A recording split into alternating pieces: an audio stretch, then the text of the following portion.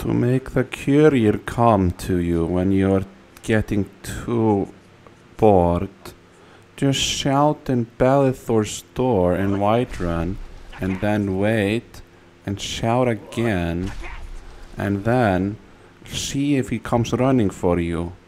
Go out, look to the left, and, and if you see a man running, then that is the courier, and he will give you a letter from a friend, most likely.